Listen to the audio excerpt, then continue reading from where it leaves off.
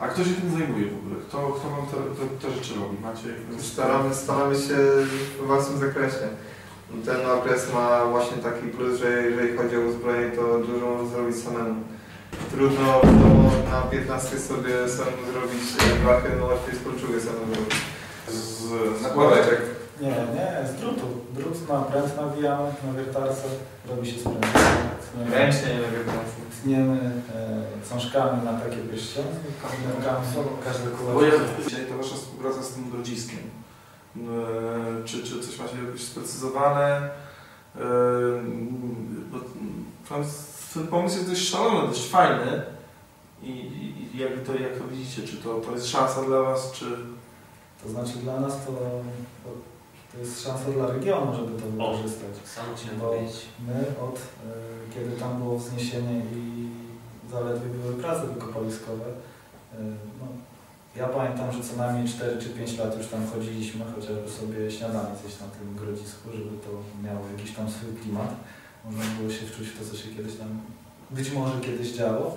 E, cały czas, że tak powiem, staraliśmy się być przy tych pracach e, projektowych i tak dalej, związanych z grodziskiem. A teraz to, co się stało, czyli dyrektor, który został wybrany, no dla nas to jest najlepsza możliwa opcja, która się, e, że tak powiem, ukazała. A współpraca jest nieunikniona, nazwałbym to. Bo to grodzisko i wpisuje się w datowanie naszej grupy, jest blisko i masa pomysłów po prostu, które tam funkcjonują, są od nas wyszły. I tyle. A, a nowy dyrektor też działa w tej tematyce. No i jest świadomy tego, że tam muszą, musi być życie, tam musi się coś dziać. A bez bractw rycerskich jakichkolwiek to nie ma szans. To nie, ma, to nie może funkcjonować na tej zasadzie martwego skansenu, gdzie będzie jeden przewodnik i po prostu chatach będzie prowadzać. To się musi coś dziać. Pomysłów jest naprawdę dużo. E, Przemek Rej, dyrektor ma ich dużo. E, W część jesteśmy już wciągnięci i, i, i naprawdę to jest perełka, która której no, Przemek nie zmarnuje. On nie da sobie wcisnąć jakiegoś braku promocji, nie da sobie wcisnąć jakichś... No, no jemu na tym zależy po prostu. Patrz, no, e, bractwa rycerskie, tak w ogóle rycerstwo wiąże się z jakimiś ideami, wiąże się z wartościami. Jak e, to jest u Was w tym sensie? Nie, nie, pytam, oczywiście czy przestrzegacie tej wartości, tylko pytam o to, czy, czy, czy macie, czy mówicie, promujecie to. To może Druso powie, bo on, on akurat dobrze o tym- o tych rzeczach mówi. Powinien raczej ktoś, kto jest dłużej w bractwie i kto wiesz, dłużej postępuje według tych ideałów, nie? Czyli według mnie masz tutaj Mariusza, masz tutaj Piotra, masz inne osoby, od których, że tak powiem, my się zaradziliśmy wiesz, w tym wszystkim, tak, co jest dobre. Taka prawda, że po prostu to starsi, tak właśnie osoby, które jak my przychodziliśmy, które już były, to one nas zarażały tym wszystkim, tak? One, że tak, one że tak powiem, w nas to całe dobro rycerskie, które powinno być, tak? Takie książkowe, typowe, które sobie człowiek wyobraża. E, Było wiadomo, że w XXI wieku, tak jak teraz żyjemy, no, gdyby człowiek postępował do takich ideałów, no ciężko by było mu żyć, nie? Ciężko. No taka jest prawda, bo ludzie Boga nie akceptowali. Po części ludzie nas, faktycznie, no nas nie rozumieją, no, może tak bardziej, nie? Bo ludzie no, nie rozumieją osób, które po prostu starają się żyć dobrze. Postępować, nie wiem, według znaczy kierując się sercem, tak, a nie rozumem, nie? Tak jest prawda, ponieważ akurat ten nasz świat wygląda tak kiepsko, ponieważ wszyscy tylko i wyłącznie patrzą oczami, nie? I rozumiem, jak tutaj kurde się wzbogacić, jak zrobić wszystko, żeby tylko i wyłącznie było dobrze, a tak naprawdę nikt nie patrzy tym drugim, że tak powiem, organem, że tak powiem, ważniejszym, nie?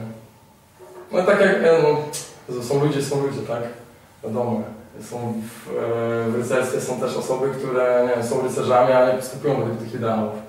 Tutaj na przykład mamy osoby, które nie są rycerzami, a postępują bardziej według tych ideałów, no jak to będzie tam później, nie wiem, jakoś z tego e, osądzą, no to tam już chyba ogóli ktoś, nie?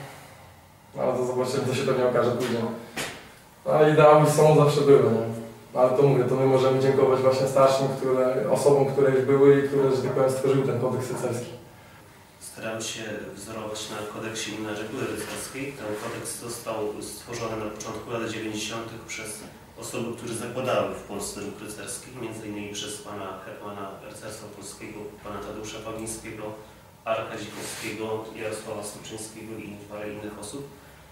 No i tam y, są różne takie zasady, którymi człowiek powinien się kierować w życiu. Między innymi, mówiąc takim językiem dosłownym, jakim jest zapisane, jest zapisane człowieka wszelkiego szanować, miłość w sercu nosić, prawdę sercem i usty wyznawać, y, ze skłóconymi przed zachodem słońca się pojednać. One są na pewno oparte właśnie na dekalogu i myślę, że właśnie z tego, z tego autor czerpał. Ten, który mm, pisał to na początku lat 90. i jednocześnie, który sięgał do czasów korzeni, czyli do średniowiecza. No to teraz pytanie panowie o turnieje, o co chodzi?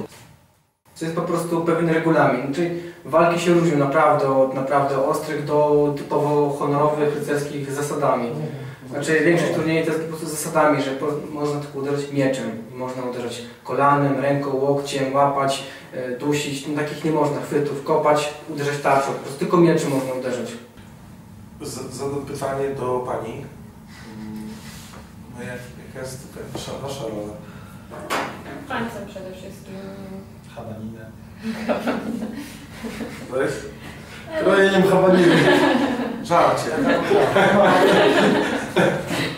No to wiadomo, że jest powiedzmy równouprawnienie w naszym bractwie, czyli wiadomo, że tam nie ma na tej zasadzie, że dziewczyny tylko siedzą przy garach, a chłopaki się biją, no wiadomo, że tam nam pomogą czy coś tam, no ale my się tam zajmujemy jednak takim ogarnianiem życia obozowego, jak chłopaków na przykład nie ma, tam na przykład gotowanie w bazie, w obozie, chłopaki też oczywiście pomagają bardzo sumiennie. No tak no to Co do wsi dziecię, tak? Już Gdyby tak było można, to... Można strzelać z łuku. dziewczyny na dobrze przykład, strzelają z łuku na tam- przykład. Tam w bojówkach wiadomo udziału nie bierzemy, no chociaż jakby Aczkolwiek ktoś w Polsce się, są kobiety, ktoś które by się walczą. uparł, no to Ale tak? I są pasowane na rycerzy? Znaczy, Nie, no pasowane nie. Nie, nie, akurat na No właśnie, no, no, bo jest pytanie takie, bo zda, zda, zdaje się, że gdyby w tym wieczór jakaś kobieta oficjalnie powiedziała, że chce być rycerzem, to chyba by jej się to nie udało, nie? Oczywiście, że. Ja powiem tak, y, przytoczę słowa Hetmana, które tak kilkakrotnie czytałem, żeby zapamiętać je. Nikt nie zabrania kobietom y, bycia rycerzem, ale po co? Na przykład ile par się już stworzyło, pięć małżeństw powstało na przykład dzięki Starogardzkiemu Bractwu Rycerskiemu.